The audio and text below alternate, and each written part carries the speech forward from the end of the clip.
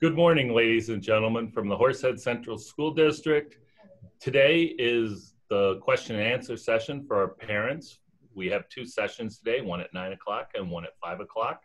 These are being live streamed. Although we are Zoomed, this is also being sent out through another purveyor. So there may be some technical glitches that we uh, encounter, but we wanted to give you some information about that. So in order to talk about ways to alleviate that as well, I will turn you over to our Director of Technology, who is also live streaming and recording this program for later viewing as well. At this time, Mr. Giancoli, could you help our guests in this broadcast format? Yes, so we are live streaming. We are actually have a bunch of participants in the Zoom meeting, and then we're putting out towards GST BOCES, who's helping us out with three servers that are pushing this out to the community. So you can find this link usually on our website. Uh, we also sent out an email blast on Friday, and I believe later last night, that you can look at your email, click on that link, and it should open up if you're having difficulty with buffering, you can always refresh your web page. That's always a good way to kind of get the buffering to um, start up and run a lot uh, quicker. Also, if you're in your house and you're viewing this on a broadband, but you're view there's a couple other things streaming, like you have music streaming or Netflix or something else. Um, you may want to look at those and maybe stop that just to kind of control the bandwidth that is happening in your home. Um, so those are the things you can kind of do. Um, if you're looking on a cell phone, a hardwired or a Wi-Fi connection tends to be better. So I would suggest uh, looking at those if you're running into any issues. But as Dr. Douglas has stated, we are recording this, so we will have this uh, posted later on. So thank you, ladies and gentlemen, for joining us today as we get ready to start the 2020-2021 school year.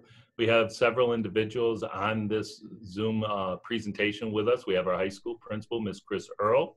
We have our middle school principal, Mr. Ron Holloway. We have our director of transportation, Mr. Pete Wilcox. We have our director of facilities, Mr. Michael Coglin. We have our director of food service, Mr. Joe Kilmer. My assistant superintendent, Anthony Gill.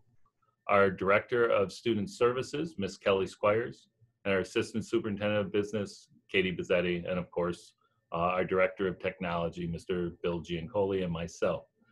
Uh, there's been many questions, and since uh, we were waiting from June 1st to get started on this and not being allowed to by the Department of Health and our state uh, government uh, until roughly around July 15th, uh, we have put together a collaboration of plans with parent stakeholders and teacher and staff stakeholders and community stakeholders. We were one of the only districts to pull people together over a two week period to try to address the requirements by the Department of Health and the State Education Department to ensure as safe as possible an opening of school in one of the three continuum formats that have been allowed by the governor at this time to answer one of the questions why aren't we here at five days a week? That's what 53% of the parents wanted on the survey. That is not a survey for a decision making tool because we did not survey every single family but we do recognize it. The real problem is not that we had 53% of those that responded saying one to one five days a week. The issue is that the district of this size unlike smaller districts is unable to meet the vast requirements for social distancing capacity required by the State Department of Health, which oversees and guides our uh, opening. So please understand that we would all love to be one to one every single day of the week in the safest format possible. But with the current state of environment and the guidelines that we must have, we cannot achieve that. So we are in the hybrid and remote format at this point, unless ordered by the governor to change. So I hope that helps to explain that. Um, and we hope that as we move forward, we will get through this as quickly as possible. Today's meeting is going to focus on really three major issues, health and safety, instructional um, programming, and then financials. Uh, we will have uh, various questions. We have the questions. We want to thank everybody for putting them in. We will try to cover them throughout this process as I try to check off. Some of the format is I will interrupt to ask a couple additional questions that maybe I did not see. uh, or have answered yet, or do a double check at the end. We expect to be about an hour, hour and a half, uh, as there is about 50 detailed questions, some with multiples that were submitted. And we thank everybody for their participation. So as we get started at this point, we want to talk about health and safety in our facilities throughout our district and what we do to keep them safe. I will turn it over to Ms. Caitlin DeFilippo and Mr. Michael Coglin as they are head of our safety committee and have vast amount of work in each of these areas. So Caitlin or Mike, whichever one wants to start first. I, I'd be happy to start, Tom. Uh, we do have a PowerPoint presentation that uh, might be helpful to walk through if we want to talk about implementation of the plan before we uh, go through this. And I can hop in when we get to the health and safety slides. Caitlin, would you like me to present that PowerPoint now? Yes. So as a, as a lead in, some of the questions we had been receiving had to do with the, um, as, as Dr. Douglas was talking about, the plan and the decisions to, to why we led to this, this hybrid model. And um, as a, a, a to, to let's understand the process and understand how we went about this work. So um, keep in mind, uh, and Bill, go ahead and you can move forward with this. Um, we had to keep these things at the forefront of our brain and conversations had with many of the teams talked about those priorities and our vision statement in mind. How do we keep, keep towards uh, attaining that vision and our work as we do with students and with our staff? Uh, that safe physical environment for all our students and staff, addressing the social, emotional well-being of our students and our staff, and developmentally appropriate and differentiated instructional approach. So those were at the forefront of our, our committees and our brain uh, as we as we did this work. So I just want to briefly just talk about what that looks like uh, and that process of the plan creation. Um, we had um, so go ahead, Bill. Go ahead. The next piece of that. So between these dates, you know, we were uh, announced from the state ed department uh, as well as the Department of Health of the rules that we had to follow. Um, in a very short turnaround process, as Tom was saying, we had a number of teachers, parents, staff, administrators, community members come together, 80 stakeholder groups and five different group uh, committees to really look at that preliminary survey, again, as not a, a guide our thinking and our, and our work, as Tom was saying, and analyze the, the health and the uh, the health and the education department documents and look to what's the best plan for Horseheads. And those five key areas, um, again, being health, safety, transportation, nutrition, social, emotional well-being, and instruction. Um, so we studied research, discussed um, the, the, feasibility of uh, the three plans that we required to uh, submit to New York State. Um, in the creation of those three models, again, 100% remote or online, a hybrid model of some sort, and then 100% in person as we're required to submit and, and talk to New York State about. Um, there, many of the committees talked about what it looks like and the possibility of bringing all students back to school every day. Uh, that was, as Tom said, something that we had seen in that initial survey. Um, however, given the requirements of the Department of Health, um, the, the social distancing requirements, the, the, our facilities, our staffing, uh, transportation um, requirements, and what the Department of Transportation was saying, and uh, the cafeteria, the health and safety, um, it was uh, not advisable that we would bring back students, all students, every day for five days uh, in a row. Uh, obviously, that is the goal. We would all love to have some normalcy and have our students back in our in our in our building. Um, but to meet the mandates and the requirements and the musts of these uh, Department of Health, um, it's not feasible um, for us to, as a district to move forward in that model. So with that, we jump to our next phase, which was implementation. And it's important as we go through this conversation to see that we are not, um, we're in the middle of implementation. You can see those dates. We are still developing and moving and working on processes to, to make September 8th and the beginning of the school year happen. Um, we, we have a lot of information that's come in with the completion of those, the parent selection of the model and the, the assignments of those cohorts. Uh, those notifications will be going out today um, after we merge them in and send them out to parents.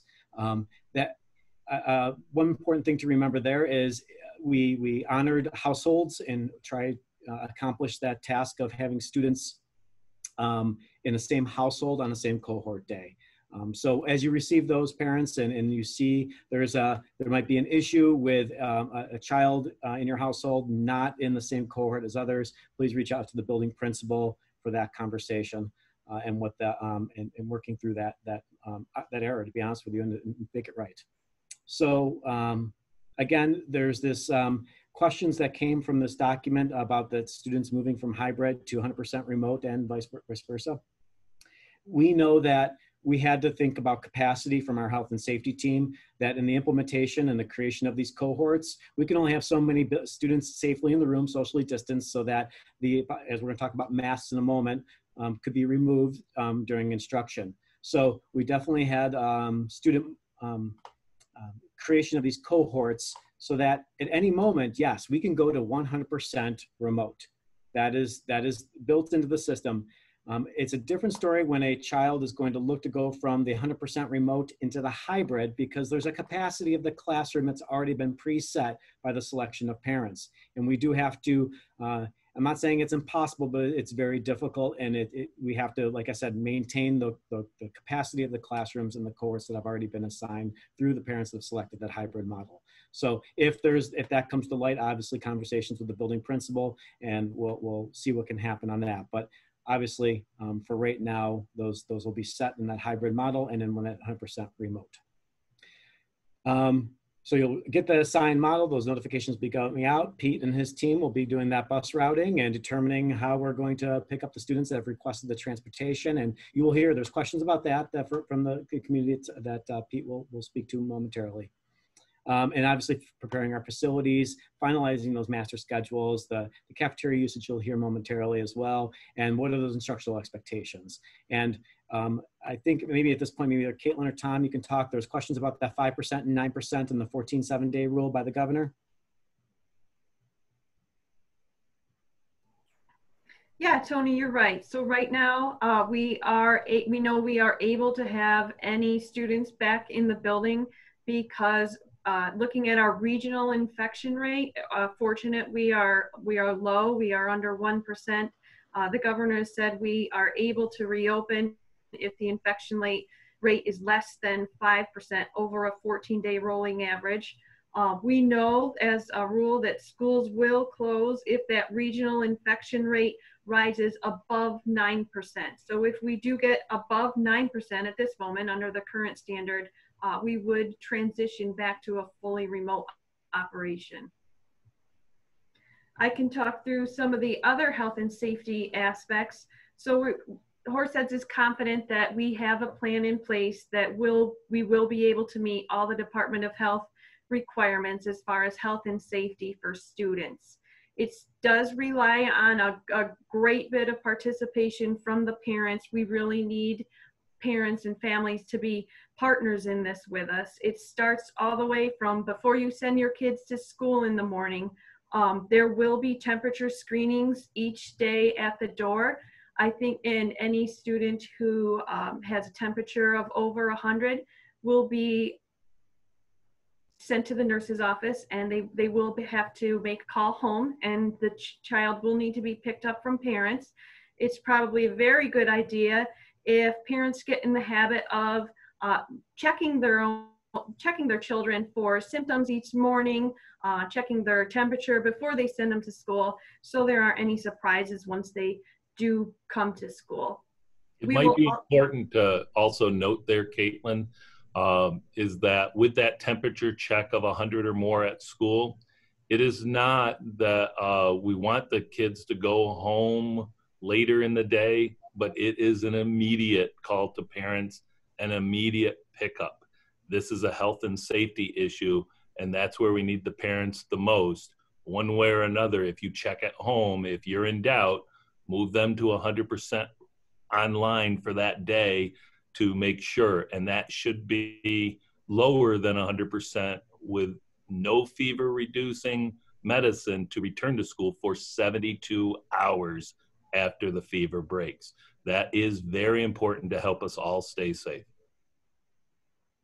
We will also have weekly screenings. You might have become accustomed to these screenings if you've been to the doctor's office or even to get your haircut, at salons. Um, it's basically a screening that asks four simple questions to uh, figure out whether someone has been in close or proximate contact with someone who has had COVID-19 or if there has been travel to uh, a state that's been designated on the New York State travel advisory list um, in the past 14 days before quarantine.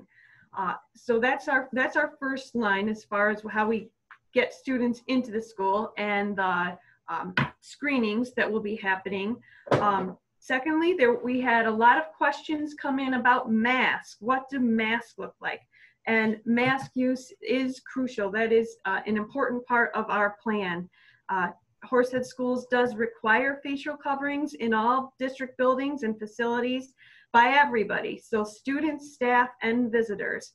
They will need to be worn on anytime they're on district transportation, anytime anyone's in the hallway, if you're uh, moving between hallways and or the lunchroom during bathroom trips, at any school functions, um, in the classroom too. We know that uh, we will be working in mask breaks um, during the classroom. If you are in the classroom and your, your students are completely stationary and the, the teacher is able to be in a, a safe spot uh, and also socially distanced, everyone's socially distanced and stationary, then students would be permitted to take their masks off. Um, if then the instruction changes and there's some activity in the classroom where the teacher has to approach your student or maybe students have to get closer to each other than is socially distanced, then the teacher will give a, a cue to the kids, okay guys, it's, it's mask time and everyone will be putting their masks on at that point. And we do expect that um, students need to follow reasonable directions of their teachers. Another important part if your your kids want to wear their masks 100% of the day, that's a okay. Um, and in fact, we we would encourage that. That's that's um, absolutely fine, and we do highly encourage mask use as much as possible. As far as what contemplate what constitutes a mask, it needs to be something that covers both the nose and the mouth. It can be cloth or it can be the disposable kind. Um, face shields so face shields don't meet that threshold, uh, but you can send a, a face shield, a face shield with your student if the if they would like to wear the face shield in addition to the mask, that's fine. If they'd like to slip it on anytime they are socially distant and work that into their mask breaks, that's fine too. Students can take off their masks obviously at lunchtime once they get to their seat and they're, they're ready to eat their lunch if there's any problem with the mask, if your mask uh, gets lost during the day or gets dirty or maybe the uh, strap breaks on it, we will have replacement masks available for all students. If a student, if your student doesn't have masks, you're not able to provide a mask, we will have them available for all students, both in the buildings and on the buses too. So they'll, all bus drivers will have a supply ready to go if somebody comes and forgot, forgets their mask. And we want to also thank everybody because within the survey that we put out, almost 98% of the individuals said that they would provide the PPE, um, such as masks and so forth, for their student. This would be a significant cost. We still have to prepare for it, but your assistance, as well as I'm hoping our staff's assistance, will minimize our costs so that we can focus that those additional costs that we have on other areas of safety and operation. So thank you. And if you have any questions, please contact your building principals. If there's a student who perhaps can't wear a mask for health reasons, it's important that you work with your physician as soon as possible because there, there will be a process for us to uh, review any accommodations that may be needed by your students. So review that with your, your physician as soon as possible so you can get that to us so then we can work through our process of uh, working with our school physician and making sure that we're accommodating what kids need, but we're also making sure that we are keeping everyone as safe as possible. Um, I know I've talked a few times about parent cooperation. This is something we need with masks. This is something we need with social distancing. Um, if you've taken a look at our frequently asked questions, you probably noticed on there that there, there, there has been a superintendent's directive that Dr. Douglas has issued, and it says that failure to follow any of our plan elements or our protocols will result in a code of conduct violation for the students. So this and failure to comply with wearing a mask, social distancing, anything that comes up like that will be strictly enforced. These will be seen as disciplinary issues and uh, administrative staff will absolutely be following up on those.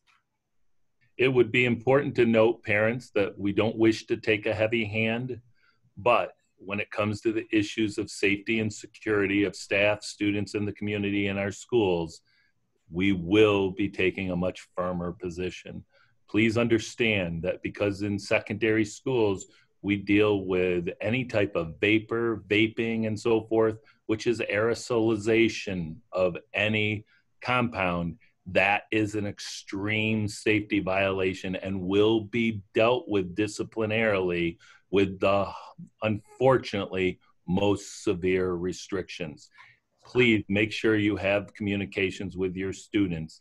If you know or have understood that they vape or any way with uh, smoking and so forth, those cannot be tolerated at this time. I hope you can understand. Um, but I think before Mike Coglin, the director of facilities, is going to talk in detail about what the cleaning protocols and what all the facilities team steps they are taking to look into ventilation and uh, how that is going to look and the steps we're taking. I think it's probably a good point for me to just mention uh, we received a lot of questions about what happens if um, someone, a, te- a student or a teacher in the school tests positive for coronavirus? Will the schools be testing for coronavirus? Uh, will the teachers be required to get tested every couple of weeks? Unfortunately, no, we do not have the capacity to have a, a independent testing laboratory set up in the district. Um, we are looking to the Chemung County Department of Health for help on how we approach these kind of issues with testing. And we do know that we will be, um, what, what signs to look for. And anytime a student or staff member is sent home following a, a, a presentation of COVID-19 symptoms, or perhaps they come ill during the day, that will be communicated to the Chemung County Department of Health. And then, so after someone does go home, there were a lot of questions received about what do we do what do we do to get this person whether it is a staff member or a student back into the school and make sure that they don't present a threat to everyone else in school that we're doing what we need to keep everybody safe? Um, there is a protocol so to return to school we do need at minimum documentation from a healthcare provider uh, that the person is clear to return to school and also a negative covid test and symptoms also have to be resolved. Now, if there was a, a student or a staff member who has uh, who, who tests positive for COVID-19, they would not be permitted to return to school until the Chemung County Department of Health has released them at, from isolation. And we will we will be making sure that we do have that documentation in place, and we have the the green light that the um, the individuals are they're healthy and they're ready to come back to school. We will also be working with Chemung County Department of Health as far as contract tracing. Uh, we, despite the fact that students have been dismissed for a while now, uh, a lot of our other staff has been working 12 months and we have developed a good line of communication with the Department of Health uh, to approach how we deal with contract tracing. Um, and we know that we will be working with them to help make sure that we are um, approaching that issue well and that we, we are vetted it. There's no one clear line of um, an automatic rule of what happens. It really depends on a case by case basis. Chemung County Department of Health tells us that the closure could range um, depending on what the impact is. It could be certain groups who are quarantined, it could be specific buildings, it could be the entire school district. It really depends on what the issue is presented and uh, what the best science is and the, what the public health experts tell us is the best thing to do at that moment. And, and we will be following that. Um, this might be a good segue into uh, what Mr. Coglin and his team at facilities are doing to make sure that the school setting is as safe as possible. Good morning. Mike Coglin, Director of Facilities for the Horseheads District. I'd like to talk a little bit about the cleaning procedures and schedules and how we're preparing the buildings for the students and staff uh, to come back. Uh, First of all, you know, we're governed, we will be following the CDC, Department of Health, and New York State Education Department's guidelines for opening a school. Uh, we've been monitoring uh, these guidelines as they've been coming out, and since we've been going through um, this epidemic with the COVID 19 uh, for many months. Uh, our cleaning procedures, just to assure, we will be uh, daily disinfecting all classrooms, bathrooms, hard surfaces, um, cafeteria area, the playgrounds. We will be out daily to disinfect the playgrounds in the morning uh, before the kids are using them. Then throughout the day, we will be following, depending on the uses, following the guidelines uh, to continue disinfecting, cleaning, keeping the area safe for all the uh, students and staff that will be in attendance on any given day. Um, we've looked at new technologies. We'll be talking a little bit of you've seen between misting and fogging, uh, ceramic coating. We are, there's an assurance policy on all hard surfaces, cafeteria tables, desks, teachers, adding a protective layer of ceramic coating uh, that's come out with technology that's going to help us uh, keep everybody safe. Hand washing stations, we've been looking throughout the district. Water fountains will be bottle fillers only operational as they're going through. Um, the fogging and disinfecting that will be going on, this will not, I'd like to ensure, be done while the students are in attendance or staff around. We'll be following the guidelines, keeping everyone safe. Um, we hired a consultant for the district to help us get through these new chemicals to make sure cross contamination um, and any concerns we have, as well as training our staff on the new technology to come in to make sure we're doing it appropriately to maximize the disinfection uh, and the cleaning that will be going on. We have looked at district-wide air filtration. This was an area that, that we know this is very important. We currently have ordered all ventilation throughout the district will be going to at least a MERV 13 filter.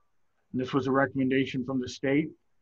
Um, along with that, we will be making mechanical changes to our devices, maximizing the amount of outside air we can bring in a room, which will vary.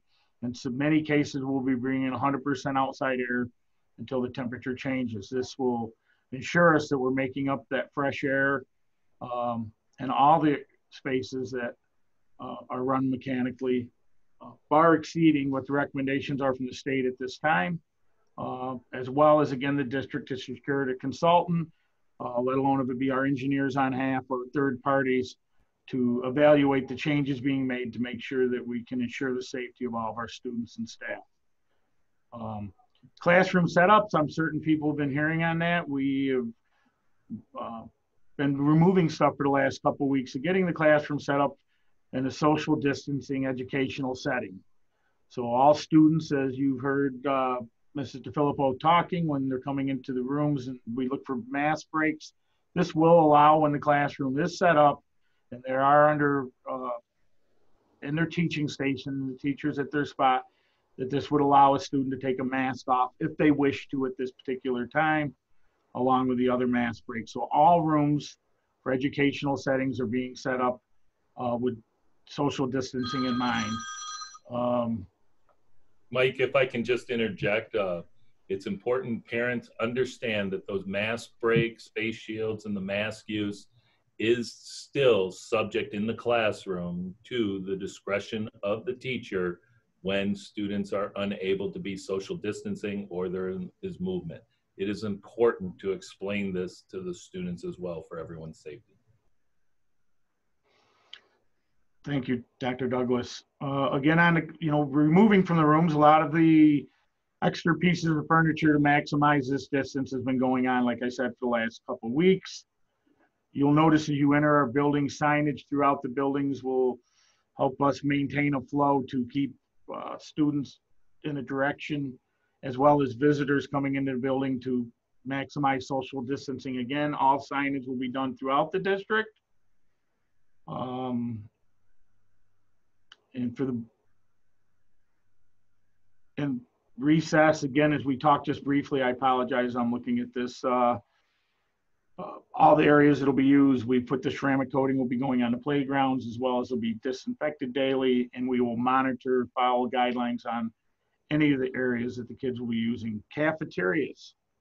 Cafeterias are being set up again to allow the kids to get a break to for the most part to be into the cafeteria. They'll be set up again at a six foot social distancing. Uh, these areas will be disinfected daily. Uh, again, coming back through disinfecting and sanitizing throughout the day, depending on the use of these areas. Um, so I can assure you that we've looked at all areas, all areas coming into the district, and the district is still working on plans at this time as it's changing and we're seeing the numbers. Uh, but we will be ready for when the students and the staff come back to follow all guidelines that we've been instructed to follow. Mike, could you talk about just temperature on the second floor, heat, whether it's at the high school, middle school, and so forth? Uh, ultimately, once we get through with the whole construction and re um, refurbishment of the entire district, our intent is to have air, but we're just not there yet. Yes, Dr. Douglas, uh, through some of the surveys, some of the concerns, and this has been ongoing prior to the situation we're in now. But with that increased ventilation, uh, it'll be brought on earlier each day uh, to bring in some fresh, cooler air. Windows we are monitoring to be opening. We are looking at additional fans in the buildings. Uh, this ventilation historically is run when we're occupied in the buildings we're required. This will run after hours a little bit longer, so we will be monitoring um, temperatures in the rooms. Uh, additional staff, the district is uh, looking currently to secure additional staff to help with these needs. And some of the duties on these needs of this additional staff, we're getting the buildings opened up a little bit earlier in the morning and increase airflow in the morning. We're hoping this will help with the comfort um, as well as the fresh air in all these spaces. Thanks, Mike. I thought um, I'd mention before we move on to transportation, I thought I'd mention one more health and safety issue. Um, as we know, the summer is drawing to a close here, and a lot of families are thinking about enjoying their, their last bit of um, summer fun here. I just want to remind all the parents watching that there is a New York State travel advisory in effect. So make sure that you are um, looking at that list of high spread states uh, because uh, unfortunately, um, if if it's a family does travel to one of these states, the students would not be permitted to come into our schools unless they have completed the mandatory 14 day isolation. So I know we're getting close on timeline there. I just wanted to put that reminder out.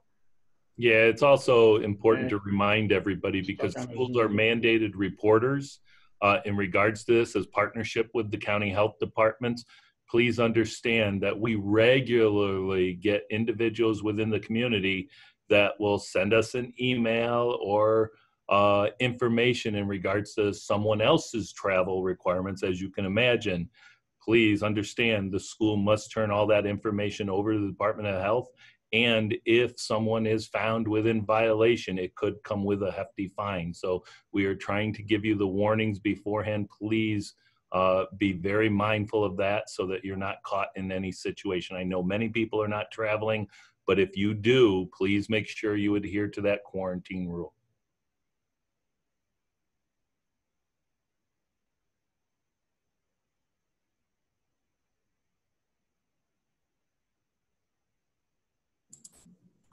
Okay, I guess that's me, transportation. Welcome, everyone. Uh, I'm Pete Wilcox, the Director of Transportation here.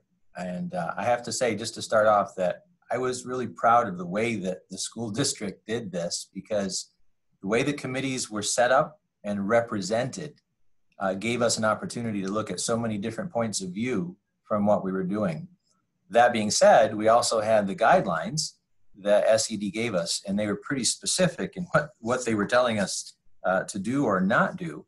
Um, and there's just two parts, uh, two points that I want to share with you uh, on that.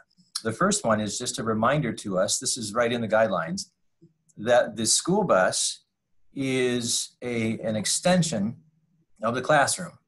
Therefore, many of the recommendations that apply to school buildings, like social distancing and frequent cleaning, should be applied to the school bus as well. Uh, so we took that very seriously, and every part of what we discussed in the committee uh, has to do with making sure that everybody stays safe. Uh, the, the second one, which also answers a couple of questions that were sent to us, is this point here on uh, reopening mandatory requirements. And that's the way the guidelines were set up. They gave us uh, absolute requirements, and then they gave us items for consideration uh, afterwards. And, and this is just under the requirements. It tells us that school districts and other applicable schools are expected to fulfill existing mandates regarding the safe and effective transportation of students who are homeless, in foster care, have disabilities, and attend non-public schools and charter schools. Although meeting these obligations will certainly pose challenges, and I will definitely agree with that, uh, districts, uh, these expectations continue to be in place. So that kind of answers a few questions about why there might be a few children that are going five days, uh, and then there's other uh, parts where parents have asked, uh, how come uh, CTE or a few other things uh, we can't do? So we had to be very careful to make sure to follow these guidelines. And going through uh, and arranging the A cohorts with the B cohorts and finalizing that with transportation has proven to be quite a challenge. But we've been up to that. And we're going to be uh, starting today because we finally have all that information pooled together and the cohorts being all split up uh, we now have the ability to start the routing. And just so you know, that is a uh, that is going to be a, a, an absolute interesting project for us. But we're going to get the information to you as soon as we possibly can. It's in our best interest as well as your best interest to be able to get that information so that you know what's happening. But what we have to do at this point is we have to get all of the information, say, uh, when we're looking at 7 through 12 we need to know every student in A uh, for middle school and every student in A for high school, coordinate uh, those students to find out how many that we have on, a, uh, on that particular run. And if there's more than can be on a bus, then we need to make adjustments. And there's going to be a lot of adjustments because we're going to build in a, a slight buffer if at all possible too. But we just don't know the, the exact numbers until we start actually routing things. But we do want to assure everybody that safety is the number one thing that we have going on here. We're not going to have any student behind the driver. And then after that, it's one student per seat, and they will be divided up and social distanced properly. So uh, until we know the numbers, I don't know if every one of those seats are going to be full, but they could be. But at the same time, we're very relieved that the numbers that we have are, are reflecting what you, as many of your parents, uh, many as parents, have done in, in transporting your children because we just couldn't do it.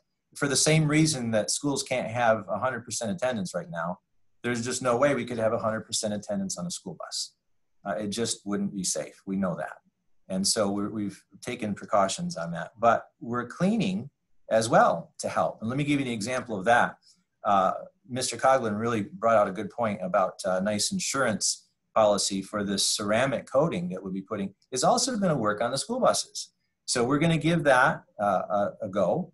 And then the committee said, you know, Horseheads has always gone above and beyond when it comes to cleaning and everything else. Well, there's no exception here when it comes to the transportation and the school buses. So uh, just to give you an example, if your child gets picked up in the morning on the first run, uh, then when they're dropped off to their particular schools, then uh, the driver will get out and they will do a cleaning of the bus. Then they will let that bus set uh, by itself for 10 to 15 minutes, get back on the bus, and then do the second run. So there is a cleaning right before. And then when the runs are all done for the morning, those buses come back to the parking lot, they are cleaned again. So you get the idea. The same thing will happen in the afternoon and in the, in the evening. So there, there's uh, a lot of effort that's going into making sure that there's no cross contamination, that there's a reason why we have cohort A and that we have cohort B. And we do our best not to mix them. Now, I know there's some questions out there about times. Uh, we're going to be working on those and getting to those, uh, getting those to you as soon as possible. Um, and as always, and for those of you that are new as well to the school district, as always, just the nature of the beast with transportation is we'll do our best to give you a rough idea, uh, but we really aren't going to know. And remember, this is all new for every, every one of us. We aren't going to know the exact, and it's going to probably take us a week to work that out to find out exactly what it is. But we'll work with you, and don't be afraid to call us because uh, we can call the buses and find out where they are, how long, and so forth, and we'll work with you on that. And we expect a lot of that communication because without it, it just doesn't flow, and we need that. Uh, so the cleaning is going to be a big part of it. The routing is going to be coming up soon. And I also just want to mention that um, when we're putting these things together, uh, sometimes there's a lot of um, discrepancies, shall we say. Let me give you one example. The guidelines for SED, uh, we're talking about how if, uh, if the sneeze guards want to be installed on the school buses, then that was acceptable. Well, it's acceptable for SED, but transportation has to go to DOT, FMCSA, SED, DMV, and, and find out which one has the one standard that is the strictest. And that's the one we have to follow. Because if we don't follow that one, then we're not in line or compliant with one of the other organizations or agencies. So there has been a lot of work that's put into finding out what we can and what we can't do. So we're doing the safest things uh, that we can on the school bus. And for an example, this sneeze guard, they're not allowed. We can't put those things up because the students and the way the buses are built need to be able to have uh, a way to get out of the bus if possible, and they drill on that type of thing. So everything that is uh, being that can be considered has been considered. Its transportation has uh, a lot of work to do over the next couple of weeks, but uh, we're happy to answer questions as we go along, and uh, we'll get that information to you as soon as we can. So thank you, Pete, on that. Just to hit a couple things. There will be more information coming out from the middle school and high school on parent drop-off and pickups, similar to when we reformatted the entry into the middle school and uh, pictures of showing the flow, especially at the high school with uh, the construction that's been going on. Uh, I know Miss Earl uh, is on, but she will be working on senior parking uh, and where they will be parking because at this time uh, that will be something that has to be managed. But they will be sending something out shortly uh, to try to address all of these issues. So please bear with us. You had heard that the A cohort and the B cohorts are set. We will be mailing out, uh, we are extracting the information today for a, a mail letter uh, so be looking for that to indicate when your children are on which day uh, that they're in person and which three days that they're remote. If there is a problem with that, uh, as if there's an error, please understand you cannot pick A or B day for your family. We have tried to make sure families are households are on the same day. So if there's a problem where one member of your family isn't on the same day, it might be because of educational programming, but please pick up the phone and call your building principal.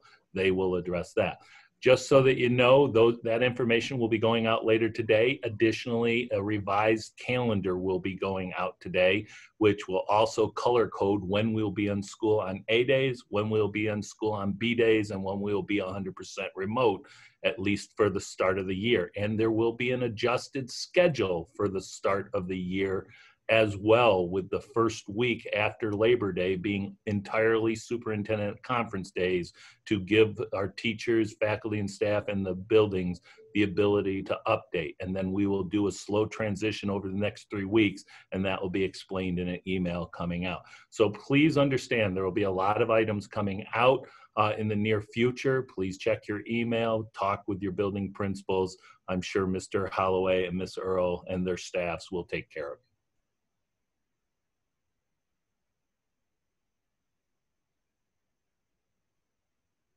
One additional thing before we move on, I just noted before we get the food service, is the question about BOCES. BOCES and transportation.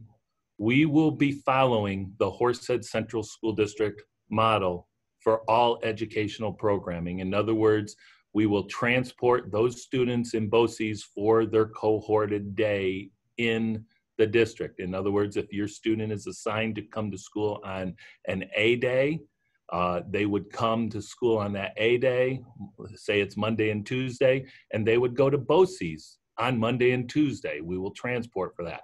On Wednesday, Thursday, Friday for that cohort, the student is expected to be in remote. They are not able to go to BOCES at that point because if we're mixing the 21 different other school districts together, we would be violating some of our cohorting protocols and students do not have the ability to drive to BOCES. So please understand BOCES follows the home school district schedule and each district is offering something a little different. If you're a student in New Visions, you will still follow the school district's uh, schedule for A days and so forth. The only difference is they sometimes have independent internships that are on those other days. They can drive to those internships. Uh, so please just check with your principals on that, but we have to follow our protocol for safety and security. I hope that helps. And then uh, there was a question on the private schools. Private schools we do pick up, but they usually wait in our schools. Under this new format, they cannot wait in our schools. They are not our students. So they will have to be in open air outdoor. Parents will need to adjust to that. In addition, we will have to look whether or not BOCES will, uh, whether or not private school students will be picked up five days a week because officially all students are supposed to follow their home school schedule. So that might be something that our private school students that will get transported on whichever day and the other three days, if they have 100% in school and private, they may have to transport themselves and families will need to be made aware of that. So at this point, let's talk about nutrition. One of our proud moments is that we've been providing meals and services for students that have some food insufficiency or just general needs uh, from basically March until up to now. And I want to thank our board for doing that uh, because we really are not required to do it in the summer, but we wanted to help our community as best possible. And what better group with our food service and our transportation department that have been making that happen as they shift to this new environment for the coming year as well. Joe? Thank you. Um, so a couple things about nutrition uh, are here with building upon what's already been said for safety and health. There will be integrated socially distanced dining with cafeteria pickup in accordance with safety and health guidelines. The um, students will pick up individual portions of food and there wouldn't be um, things like our salad bars or self-service uh, shared utensils and things of that nature anymore. Um, for students who are enrolled in the Horseheads Central School District and uh, would be 100% online learning. We are still going to offer meals home in the same manner in which we've been operating since March for the most part. In addition to the 100% uh, distance learners, we will have the AB cohort. The dates, the days that you are off, you can also sign up for a three-day meal pack that will include breakfast and lunch. Um, for in-person, uh, I'm sorry, for in-person and uh, meals that are sent home, we will be going back to the free, reduced, and paid. Um, that's a change. As Dr. Douglas had mentioned, we've been operating underneath the emergency meal plan for um, March through now, through the summer and that was a, a opportunity that came about from the USDA, and they were providing the free meal um, reimbursements. And as of the start of school, uh, we will be going back to the uh, applications that will need to be filled out, and they are available on our website. And that is all. And we would highly encourage anybody, there's confidentiality to this. Please reach out to your neighbors and friends that may be having difficulty. We know there are many people during this very challenging time that do. Please reach out to your building principals or food service to ensure that you get your students the food that they need uh, and assist them because a healthy student, a well-fed student will help all in this endeavor.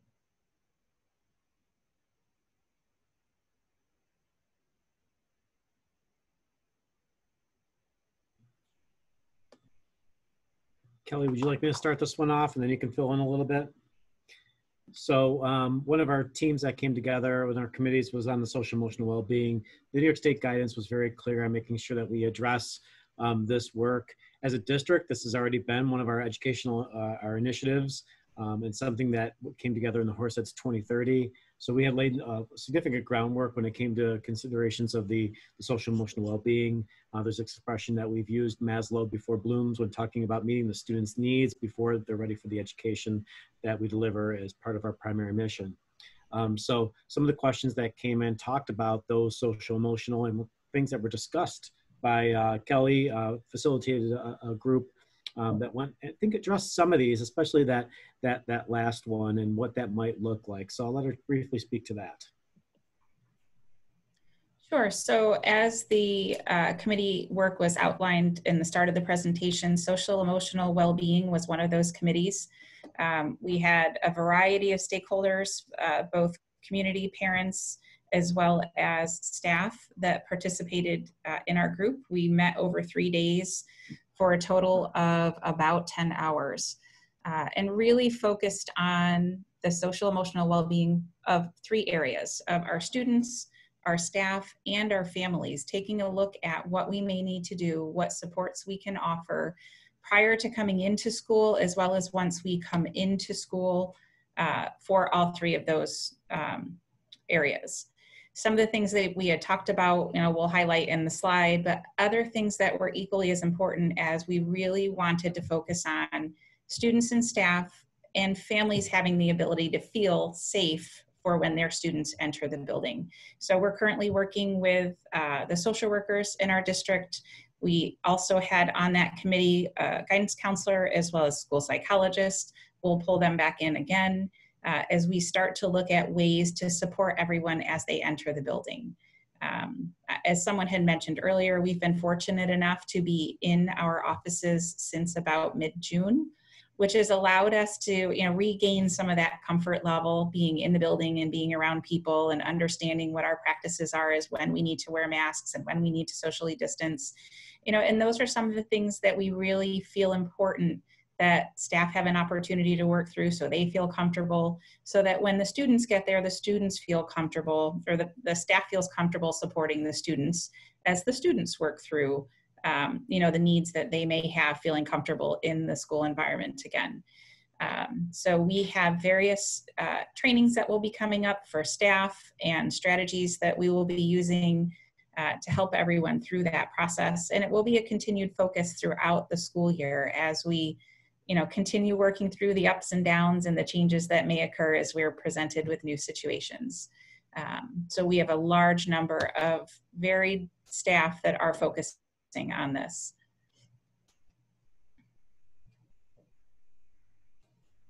I know that Chris and Ron have been uh, having conversations as well as our elementary principals about those orientations, those virtual tours, that freshman first day, and what that looks like going into this this new school year, and how it has to look different. Um, did you either you just want to speak briefly to some of the ideas that were out there? I know we're in the planning phase, so we're not exactly at solidification, but I know you've had these conversations with your staff.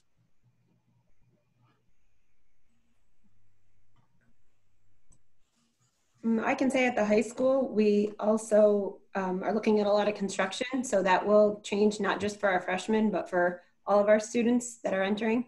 So we're trying to set up something so they all know the new layout of the building. Um, as everybody's known, the link is now no longer, and we have a new connective uh, hallway. So we're working with that.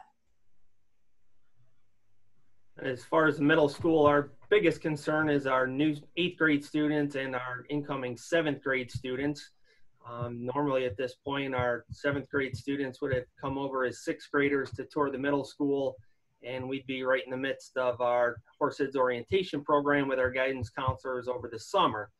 Um, so I actually have a meeting with a group of staff tomorrow to talk about given the fact that we can't do that right now, what, what are those first couple of days of school going to look like uh, for all students, but specifically our seventh grade students that, you know, are anxious about how do I get to my classes? Um, one of the things I can alleviate uh, stress from is lockers. I know that's one of the big things that students are worried about. There aren't going to be any lockers this year. So remembering the combination, learning how to open the locker, uh, we can alleviate that stress because it won't be an option this year. They'll be carrying bags uh, to each of the classes. So really the big thing is how to get around uh, the building and it's really just two big squares on top of each other and it's very difficult to get lost. Uh, students typically learn it within a couple of days. At the very longest, it's, it's a week. Um, the other thing I think that'll alleviate some stress is obviously we're going to have about 50% capacity. So uh, the crowded hallways that we would typically see those first uh, weeks of school, it's not going to look like that. It's going to look very different. So uh, the amount of staff that'll be available won't change, but the number of kids that they're going to have to help is going to be half. So that should help that uh, situation a little bit. Uh, we are looking at possibly what our schedule pickup looks like.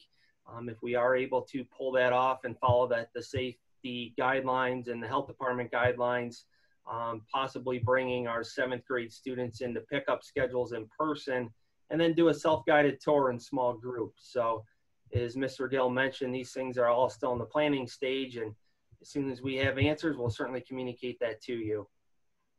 Ron, will the middle school be using planners or should parents plan to develop their own planning device for the year? Uh, we will be planning our planner just like we always do. So, yep, students will receive those. Um, and I would say we'll have to work out a plan. If any student that's 100% remote would like that, uh, we'll figure out a pickup or something to make sure that they get one as well. But yes, every student that'll be here will receive a planner. And Chris, if somebody didn't get something from last year or a yearbook or is missing something, all they have to do is contact your office, correct? Yep, we have all of that in our south office at the high school currently. So you could stop down anytime between 7.30 and 3. And just to jump in, I would say that'd be the same case for the middle school as well, Dr. Douglas. So I know. sorry, Tony, just trying to hit a couple of questions. Um, as we get through the social emotional, I know we're going to be shifting towards the educational plan, uh, which is the sort of the meat and potatoes, but there's been some questions about athletics, extracurriculars, so that I can put people um, on notice right now is that there are really no way we can do band concerts, extracurriculars after school, or sports at this time. That will be governed by the state, uh, and at this point, they are held off for athletics until the 21st. Um, but I, my guess is we just have to wait and see. But at this point, things after school, we are really focusing on the educational component, not necessarily the extracurriculars at this time. Uh, at the high school, the class officers and the class advisors will be authorized as well as the yearbook. In addition, our National Honor Society, because these are academically related at both the middle school and the high school, are authorized. But other than that, there are no authorizations for athletics or extracurricular or evening programming, such as open houses and so forth. We will work around some of those as much as we can. Please understand that there's ex extensive amount of costs with what we are doing, and that is going to be a determining factor as we go as well. So thank you, and I hope that addresses those questions. So go ahead, Tony. Sure, and those ad hoc ones we're going to see at the uh, at the uh, later part of the, the presentation, just to make sure we're thorough in addressing all the questions that came into us. They really were more like administrative or didn't fit into the, some of the, the committee work, but still conversations we're having. Um, so I know this this particular meeting is um, or this time together was really for a secondary focus. I know the questions about uh, orientation and um, virtual tours also came at the, the pre-K through six. Uh, rest assured families that we're having those conversations as well, what that looks like and how do we meet the needs of those, those younger and primary level kids. So those plans in development uh, as well. Sh uh, shifting gears to the, um, our last committee that, that came together, this uh, instructional um, with the different facets of the, the plan to address. Uh, as Tom was referencing, the, the external academic programs that we uh, participate in and through BOCES, um, the plan is uh, New York State, you know, really uh, charged districts with focusing on our most needy populations and making sure that there's equity in the services that they require. Um, so we do have students that will attend more than just the two-day hybrid because of the, the need of the student, uh, whether it be those that have been into our alt ed programs, our special ed uh, BOCES programs, our 6 1, 8 1, 12 1, 3 plus 1, etc. These, these high, um, uh, these, these classrooms of special need uh, will run in, in additional days because of that. Um, the BOCES CTE and the general ed uh, and uh, New Visions will run on the, um, uh, the, the same schedule that we follow, as Tom uh, mentioned earlier. The STEM is a nuance that will work with those families on that, um, that four-day rotation. More information to come from that. I know they're starting their orientation for those that participate in that particular program. Um, one of the questions we heard a lot about um, shifting to, to attendance um, was, you know, how is attendance taken? What does this look like? Uh, I, I, it's clear to us, and you can see from the bullets that follow, that um, we have to have developmentally appropriate synchronous and asynchronous learning that happens with our students. And you can see that there's got to be regular substantive interactions with appropriate certified teacher regardless of the delivery method. Sorry to be reading to you, but I just want to make sure you see the quotes, and these are intentional and what was the expectations of New York State and what our plan is intended to follow. And what we teach, or was questions on what are we teaching, have to still align with New York State standards. And we've done a lot of curricular work in the last couple years as a district and some amazing work with our teachers in talking about that change and the essential questions and really hitting the essentials of our of our curriculum and, and student learning. And what are those routine times and scheduled times for students to interact? Those have to be scheduled as part of our plan. Um, and it all kind of encapsulates into our development and our incorporation of a learning management system which uh, one or two people in, in the questions and inquiries mentioned uh, canvas and some other other ones um, Edgenuity we have looked at several different uh, learning management systems, and it's a, it's a I'll explain more. Let give you a moment. Let me go through this so you have a visualization. We have Microsoft Teams. Um, we have Google Classroom. Um, our tools. Um, we have resources like um, YouTube, uh, Flipgrid, Khan Academy, um, Nearpod. There, there are all these educational tools that we have at our disposal, and that we've implemented many of them um, in the in the spring.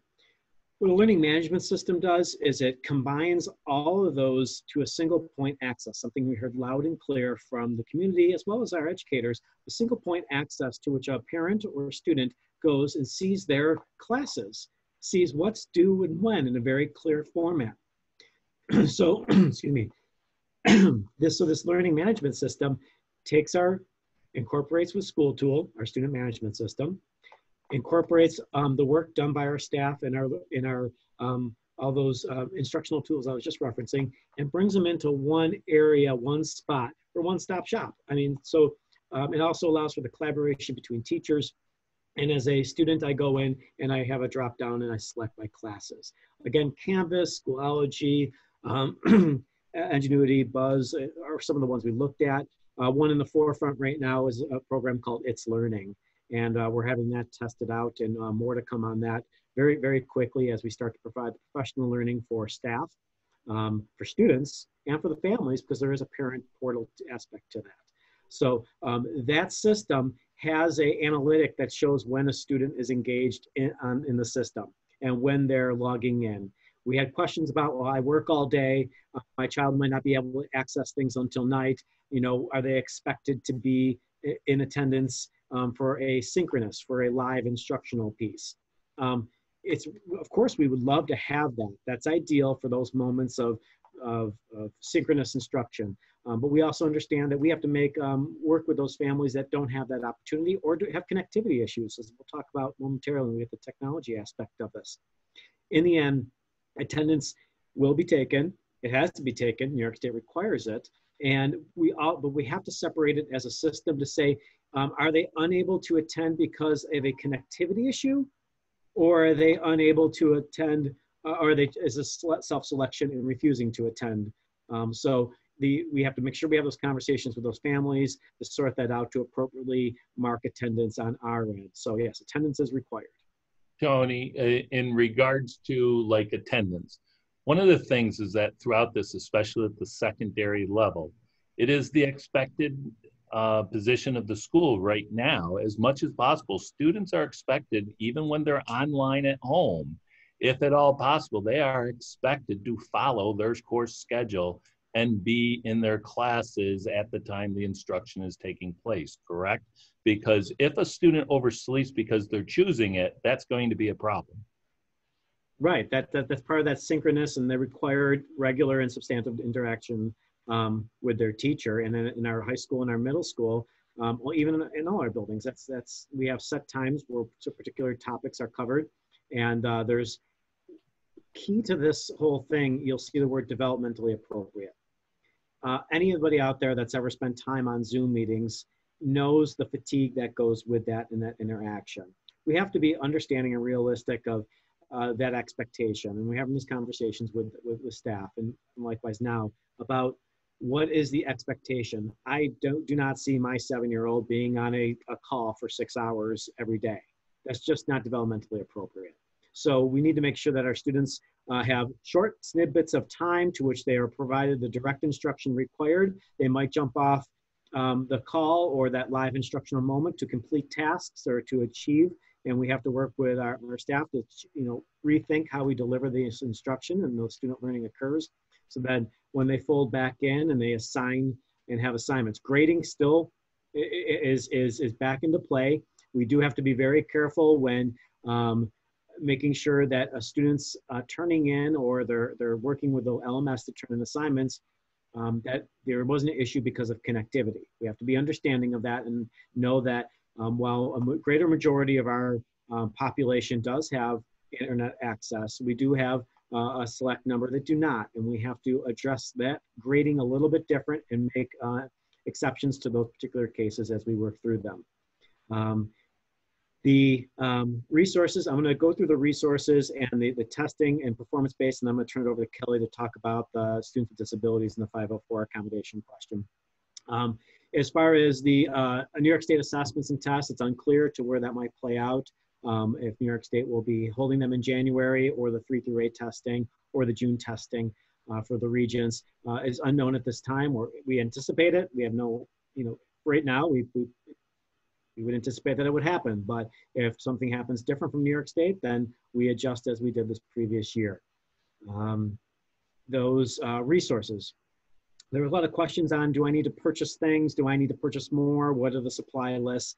We still have standard supply lists that will be requested um, that usually comes out from the classroom teachers of the building.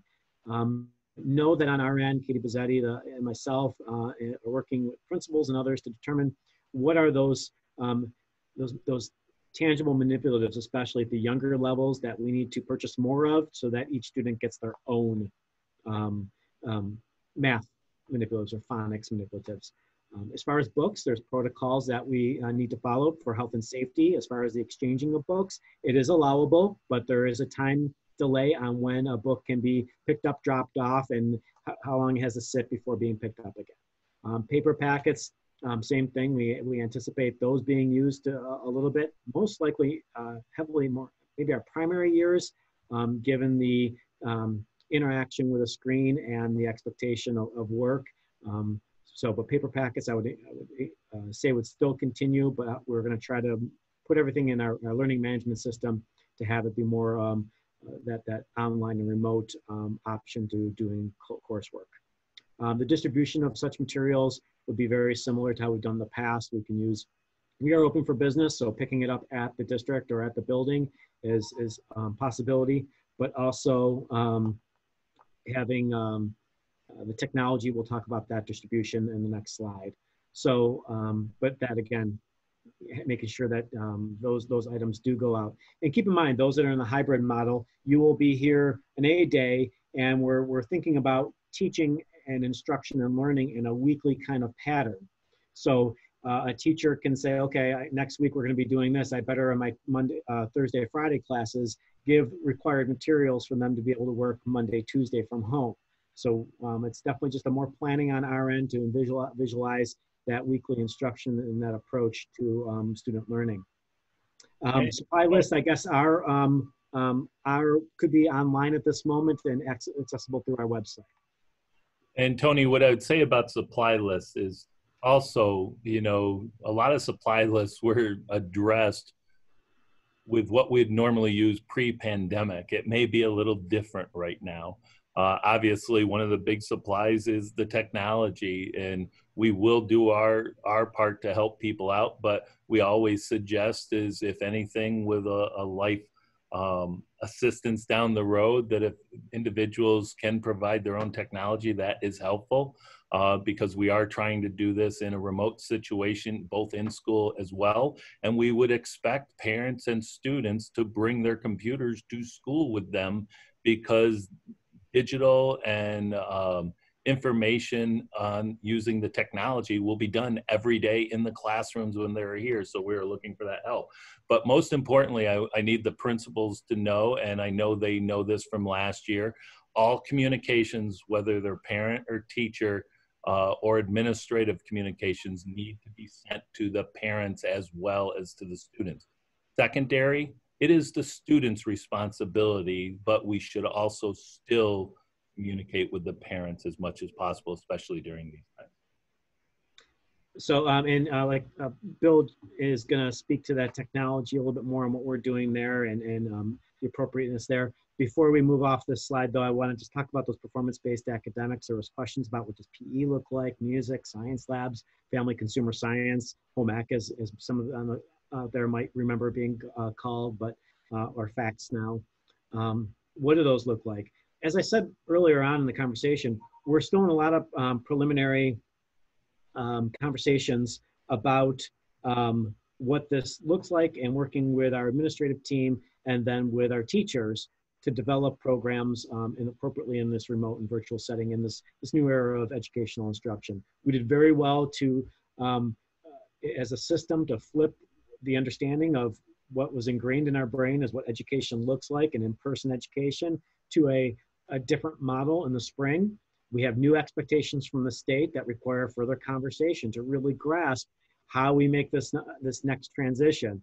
Uh, as food service and transportation all others have, have we, we knew one model and then now we have another model and then this year we're asking to combine the two and it's it's a, it's a paradigm shift for, for everybody involved and so we just the time to plan and have the real rich conversations with our with those professionals in the classrooms in those areas is key to this.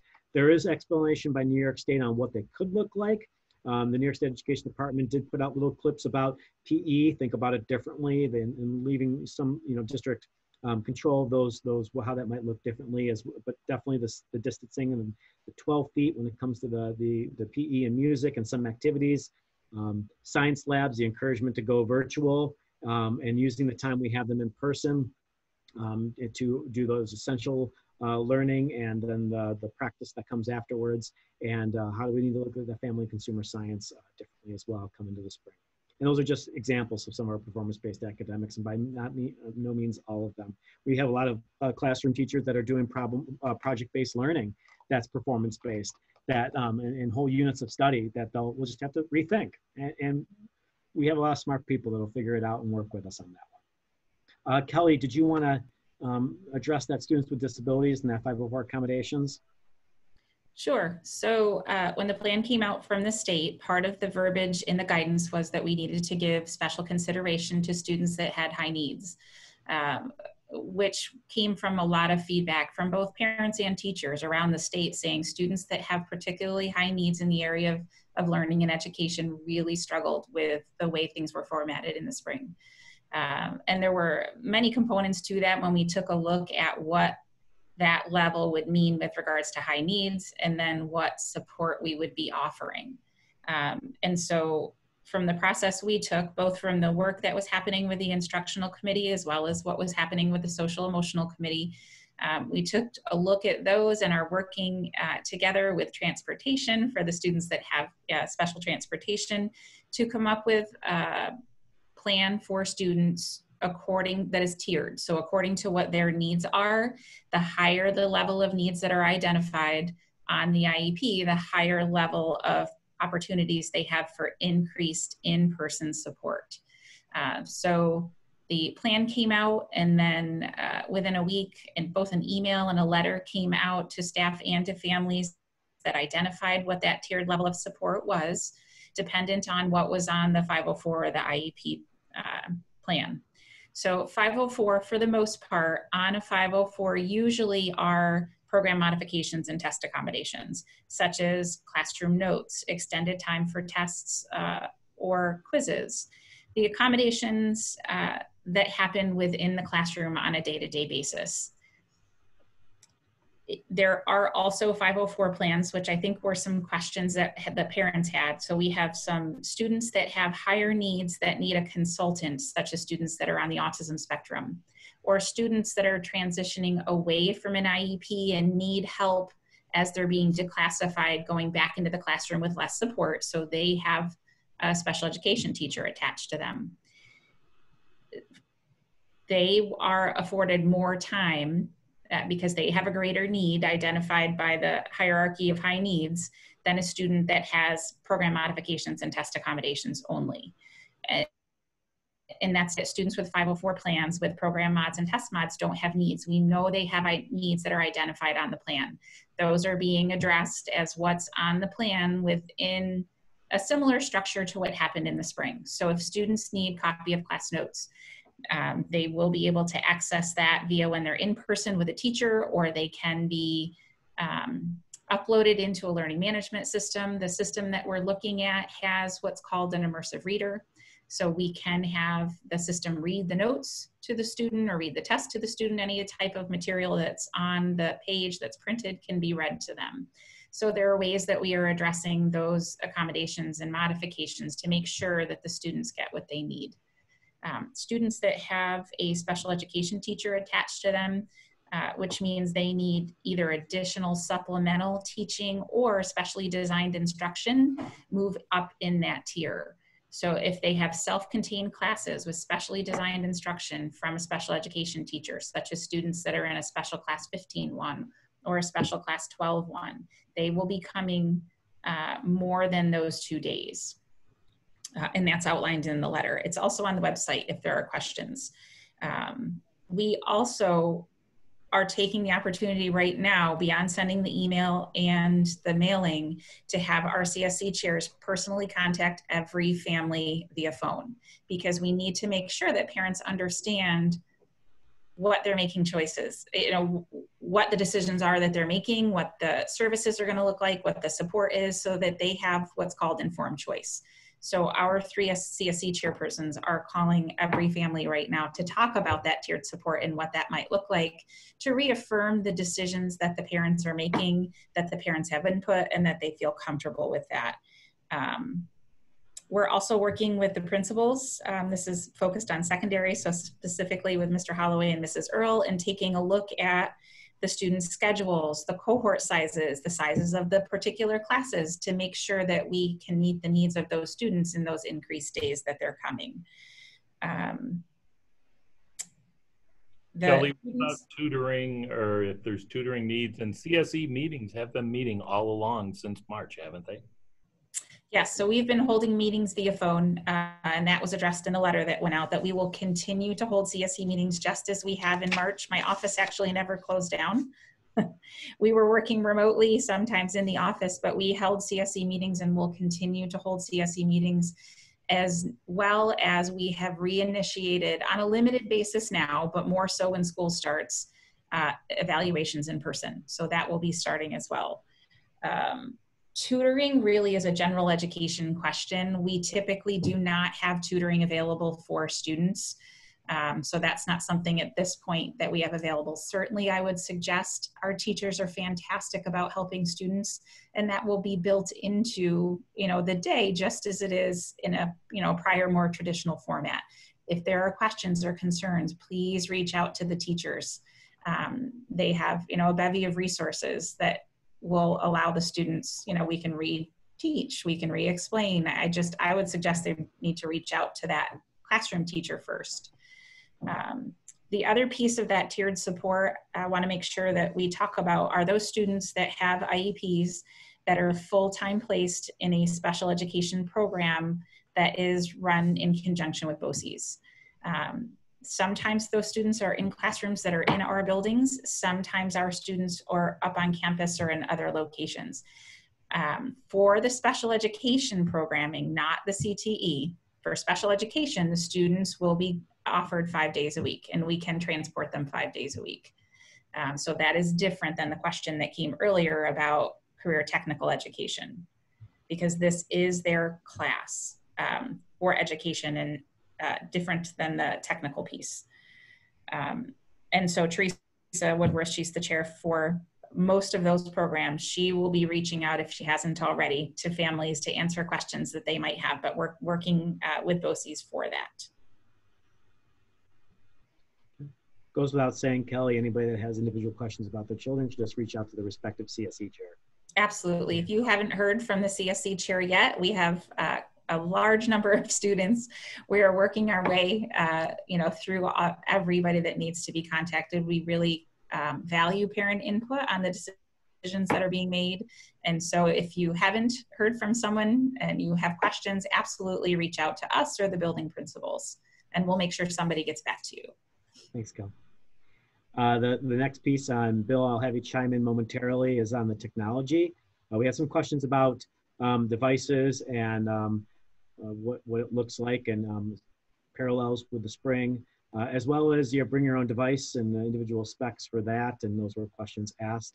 Um, uh, I'll talk about connectivity and then I'll, I'll, I'll, hand it over. I know our transportation department and, and Bill and the tech department have been working with that aspect, but just briefly, we started an initiative in the spring, uh, even before that, for, for some, a couple years now, we've had a bus that's been outfitted with an access point for Wi-Fi capability.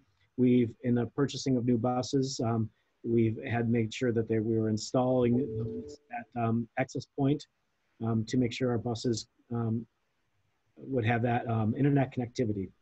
So those that that conversation is being worked out with the tech department, transportation department, with BOCES who help service us, and, as well as the vendor, to ensure that our technology on those buses and we can deliver um, to locations uh, as we did in the spring, as well as to municipal, municipalities and to fire departments, where we will hook up our safe access to our server which is the key. It's not just an open access GAST, it's access directly through the safety of our server and the protections um, that we have um, in, in that for a child to get on and be able to um, grab what they need to do uh, or to upload and download material.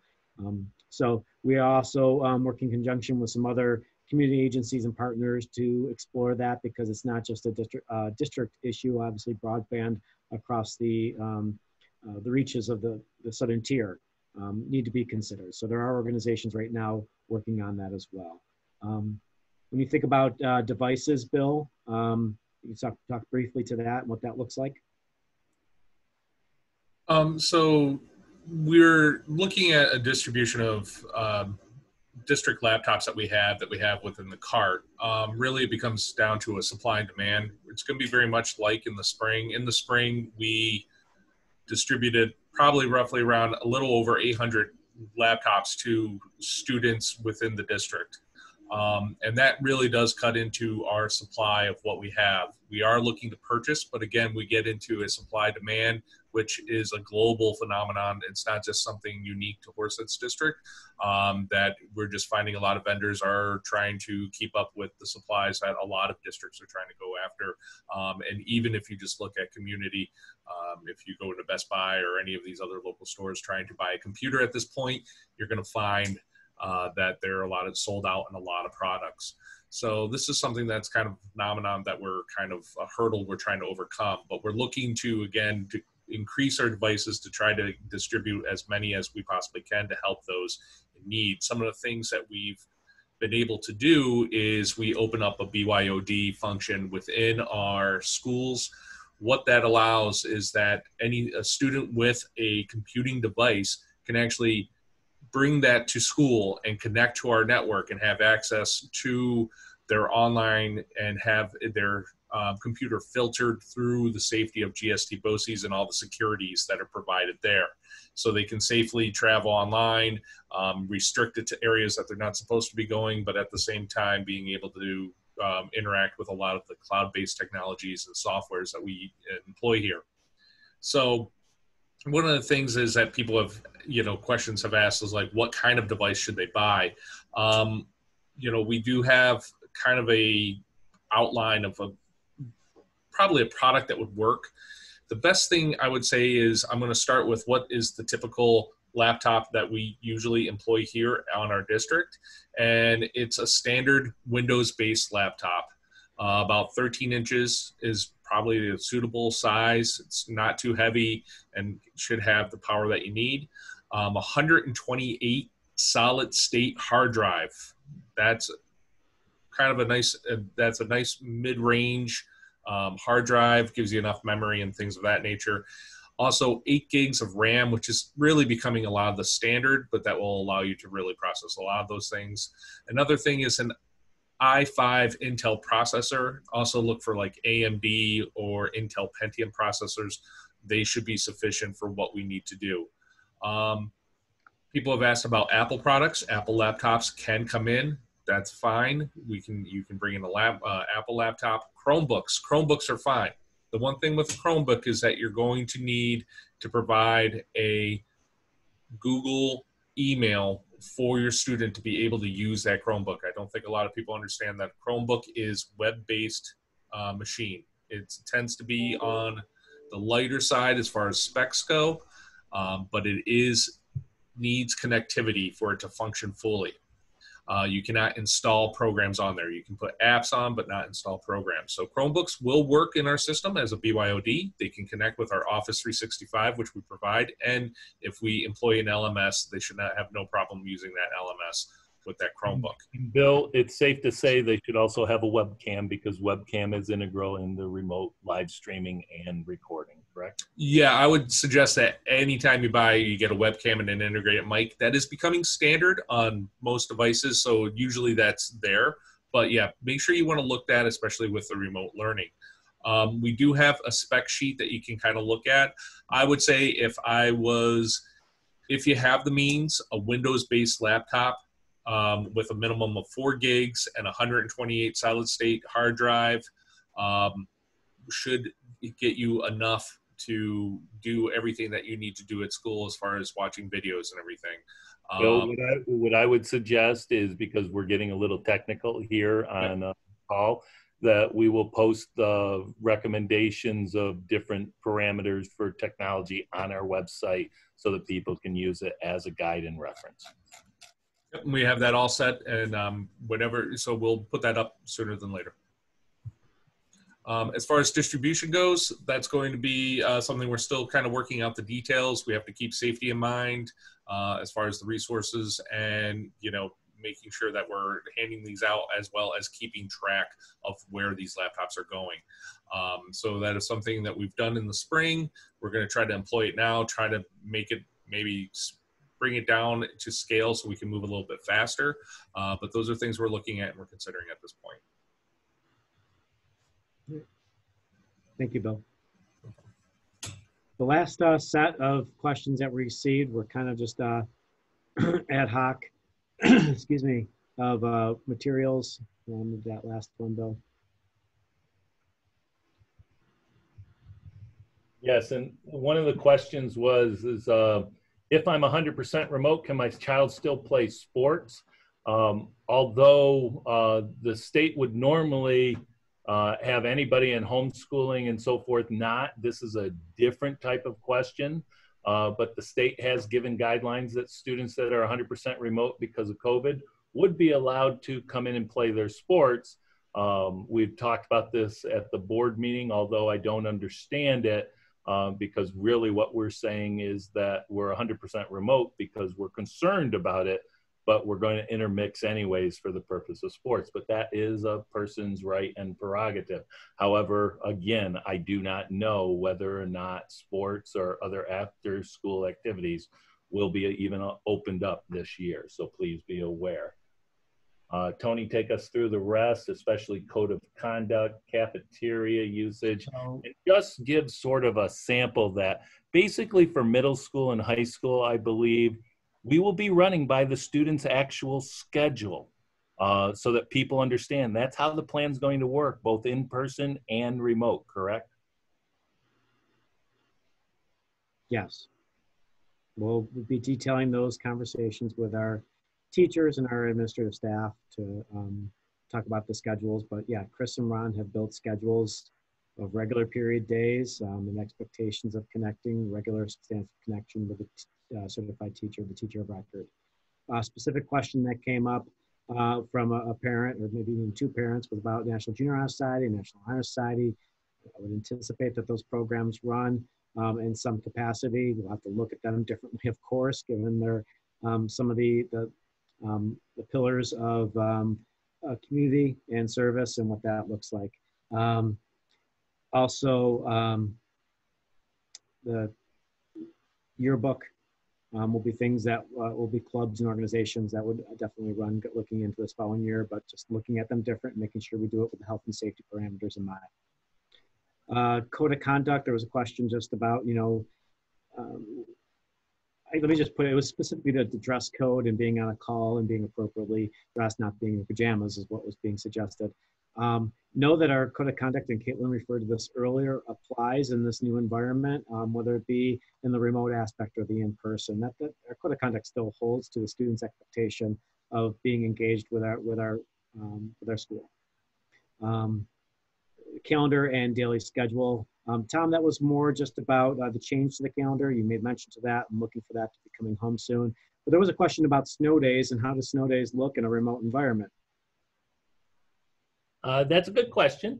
Uh, we are changing the calendar, especially at the start of the year. Um, but snow days, um, basically, we could shift and teach 100% remote.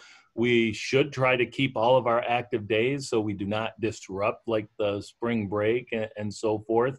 And, but even though we have the snow days and we could probably work through them, sometimes, in my judgment, everybody just needs a break too. Uh, we just need to make sure at the end of the year we have our 180 days and meet our hour requirements, and we will keep that going. So please pay attention to announcements on any of those days uh, as to what is happening. Please also understand that if by chance the governor does close down the state uh, and schools, schools will still be operating as school district employees are known as essential employees. And our teachers although our students won't be here our teachers will be in their classes following their schedule and moving forward with the educational purpose. So school is going to take a much different look than it was march when we were thrown in it to the point that it will be actively engaged daily throughout. Uh, there's a couple other questions, Tony, real quick while I just go through. I think we're wrapping up but if you can really hit what you think about music, PE classes, the distancing that they require 12 foot distance uh, and so forth, uh, just so that people know, as well as maybe about like technology for advanced math classes, parents should really invest in the calculator for themselves. And if they can't afford one, what do they do? Okay, so there's a couple things there. Let's start with uh, earlier at, on the slide, it did talk about our performance-based um, academics. Um, we, we and you recall I just mentioned that we have to have some conversations with our music department and our PE department. There is some GST-wide BOCES program um, conversations happening in those special areas to really rethink, given the health department standards of participation in those uh, those classes, what they look like. Um, so definitely looking to um, rethink that those delivery, no different than how we're rethinking the delivery of education in all our all of our classes in this hybrid model and remote world that we've now entered. Um, your second point, Tom. Uh, about calculators, the use of the people. LMS currently has a embedded calculator. It is a um, advanced math symbols are available in these uh, learning management systems. Um, so I'll be curious from as if we go into the adoption of that LMS, what our math department thinks of its ability to handle up to what level and at what level. Um, it goes without saying, many of our parents do and have purchased the uh, TI, uh, Texas Instrument calculators to meet the standards. We do have ones that are purchased by the district um, in-house um, to provide and assist with students uh, for use. Um, so I, I, don't think anything has really changed that this year. The addition this, of course, will be the LMS and what that's able to do and how our math department feels about that integration tool. And then. Uh, what about music, 12 feet distancing, PE, and that music is not going to probably look like we'd normally be used to just because of the parameters around that. That goes without saying, correct. Um, you also, just to make sure we clear everything on the others areas of inquiry, um, there was conversation of who I contact for X, Y, and Z. Uh, typically, every school year, we do have a communication of, you know, first, here's your first point of contact as you go through. Um, it's, it's either in our district calendar and or our website. And it's actually probably one of our procedures and policies uh, regulation about uh, the contacting of who and what particular issues.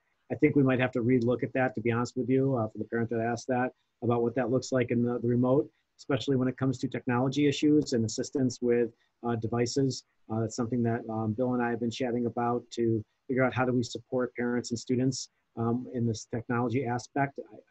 I, I've said, and I, I heard it from a tech director many years ago, that our technology is not a, a, a flip of a switch electricity. There is things that can go wrong. Um, and our teachers have often been apt, very, very apt to, to change an instructional practice or design or a lesson in the moment when technology doesn't go your way. It's just the aspect of teaching that we all get used to. However, moving into this next phase, it looks when there's a dependency on that technology, um, we really do have to make sure we're prepared for when the technology is not working appropriately.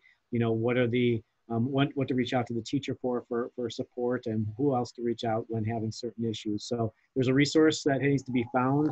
Um, Tom and I, obviously, and Katie and Bill have been talking about what other resources are available and how do we um, uh, get those resources. We know that with our learning management system, some of that um, professional learning and uh, tech might come from the, the vendor themselves, um, while maybe if it's issues with a district provided laptop, we have systems within for like a, a help desk, you might call it. But we really do have to, to figure that out to make sure because our technology is not like a light switch. It's much more, uh, um, that's what I'm looking for. I will say um, complex. Um, so anyways, back to the communication. I think some of that question came out, uh, questions came out. Who do I contact if I'm having issues doing X, Y, and Z? So we'll revisit that chain of communication plan that we put out every year for questions on a variety of areas and ensure we address the technology side and the instructional practice again, make sure it's right. Uh, there was questions about the yearbook. I'm sorry, Tom, what? Sorry, we have a question uh, in regards to um, the current environment in the United States is around the globe what cultural curriculum will you be teaching to the students this year? Again, Uh, I mentioned earlier that we have to abide by the New York State requirements of, of what's the, the, the curriculum and the essentials of the curriculum. That was very clear from the New York State musts of following the, the standards as established by New York State. We do have cultural aspects as part of our curriculum, um, most, uh, mostly found in our humanities and our, our ELA um, pieces of our work, but definitely try, culture. Cultures, by definition, um, learn behaviors. And so we find a little bit of culture in all aspects of our, our curriculum delivered by our, our, our teachers. Okay, a couple of quick questions. I think we've covered everything. We'll just have to move on to our finance at last. I know we're a little bit over uh, the hour a I'm sorry, there's two out left on that particular side that we didn't address. I want to make sure that parents know. There was a question about yearbook arrival. Um, Chris, your yearbooks have already been arrived and they're for pickup. Ron, we got an apology level from the from the vendor saying sorry, right? But they're coming. Yeah, we, yeah, we received a letter actually right, right from the company of Lifetouch indicating they're working as hard as they can and as fast as they can. Um, our actual local rep has reached out several times saying, I just don't have a date for you. So, yep, received the apology letter. Unfortunately, I don't have a, a date. As soon as we get the arrival of the yearbooks, we'll communicate what that pickup looks like and um, how we're going to facilitate that. I'm hoping soon, but unfortunately, I have no date. As soon as you know, everybody else will know. You got it. If Chris? you have a question, please contact your building principal. That will help you the quickest. Uh, Tony, just two questions right now. Uh, how are labs going to be handled, fa- like FACS, science, technology, as well as um, how will textbooks that need to be distributed be handled? And can reading materials such as like for English classes be distributed or information sent out early enough so people can get hard copies? Yes, and we discussed that. I- I mentioned those things a little bit earlier, that those are all things that can occur and will occur. occur. We'll work with our transportation department. We are also open for parents to be able to pick up things in-house. Uh, when the means aren't there, similar to September, uh, back in the spring, we did deliver on those aspects. The last uh, point that we had was about some child care questions. Um, and uh, working, many employers throughout Chemung County have been asked to provide a survey to their employees, as did we as a district, um, about childcare needs, looking at this as a community, again, a community problem like the connectivity I mentioned earlier, that we need to um, ensure that those um, looking to solve and address this problem uh, know the information and know what the need is out there. So uh, there is a group that we are communicating with to see how we can assist with um, the childcare aspect of that, understanding that there are days to which um, parents are working and we, we are opening up our economy in the phase four with the governor and what does that look like to support parents.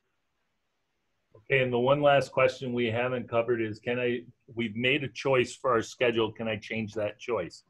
Unfortunately, ladies and gentlemen, we have to start with our planning process. So the choices have been selected and that is the choice that's in place.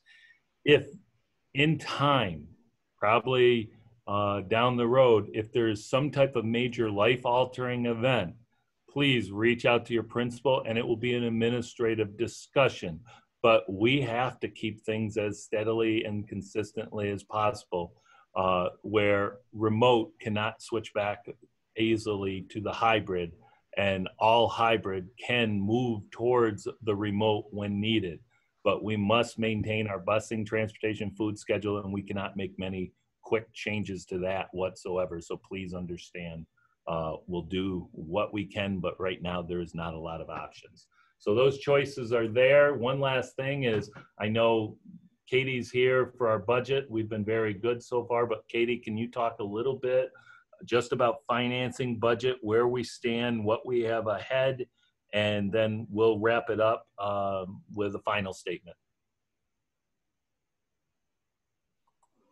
Sure, I'll I'll keep this brief as I know it's it's getting late. Um, uh, but school districts, you know, along with other uh, businesses in the state in the in the country, are facing the same um, financial challenges as a result of COVID nineteen.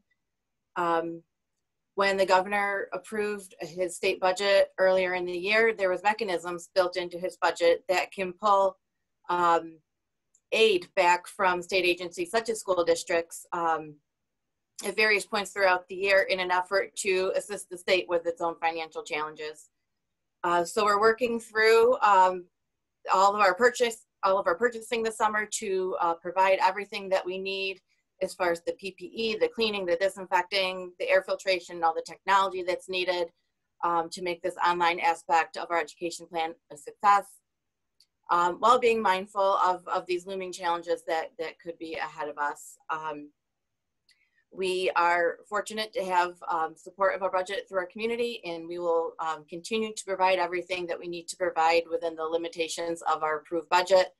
Um, at this point, um, because of everything we need to purchase and um, the significant price tag that comes along with it, we're looking at this point repurposing um, how our money was allocated in our budget. so things that we would have purchased in a, in a quote unquote normal year, we're repurposing those funds at this point to purchase everything that we need at this time. Um, so there are challenges ahead. Um, if there's relief, um, maybe from the federal level to assist states or assist schools, you know, that could be a game changer. Um, but at this point, we're operating a tight budget, focusing on those items of health and safety um, and things to make our education a, success. So be assured everything will be provided that needs to be provided, um, but we are closely monitoring the financial situation. Thank you, Katie. And that that is an important note that we have had uh, wonderful support from our Board of Education, our community, and we continue to want to rise and make this as excellent as possible for the education of our Horseheads students, the safety of our staff, as well as the general benefit of the Horseheads community in, in large. Uh, it is quite a significant undertaking. Uh, we need to hire additional individuals for maintenance, custodial staff, cleaning, uh, as well as for our technology staff to try to address added needs and requirements, uh, as well as potentially coverage and monitoring and supervision, whether it's in our bus uh, department, our bus drivers, and so forth. Ladies and gentlemen, we know that there are people without jobs, and we know that there are people looking for jobs please, if you know somebody, reach out and ask them to contact our HR department as we have potential many opportunities with a strong benefit program that adds to the community sense. We are currently hiring and we need people to help us make this as safe as possible. Uh, ultimately, the governor is going to decide whether or not he takes the 20% from us. He has already started delaying some payments by 20%, and that is a major concern because if those cuts are enacted, uh, we will have some concerns that we will have to look at how we can continue operating and what we even offer during that time. So we need to be understanding. Just so that you know, as a final statement, my entire administrative team, this Board of Education, our understanding staff, everybody has some nerves and anxieties, but if we work together from parents to their students to our staff to our administration in trying to make sure we always look out for the other person, being respectful, being flexible, and being understanding and caring for the health of one another, we will get through this. And that's what we need everybody to remember. We would like to be, as a district, everything to everybody, but we need everybody to understand it is almost impossible to meet that desire. But we will strive, just like our mission says explore, empower, excel. We will try to excel to that level. So please, whenever you have a problem, reach out and communicate to your building principals, reach out to the district office staff eh, as needed. We will get back to you within 24 to 48 hours is always our motto, if not sooner. But please make sure uh, that, you know, we are working in collaboration and partnership for the health and well-being for our students, our staff, and our community, but also moving our education ahead as expected to be one of the highest in the regions. I want to thank you for taking this time. We've answered well over 100 to 150 questions during this in a conversation style. If you have others, please look to our frequently asked questions and we will be sending the calendar out as well as other information out as soon as possible along with transportation and your cohorts uh, as quickly as possible today and tomorrow. So at this time, I'd like to thank you and I appreciate you joining us for a conversation.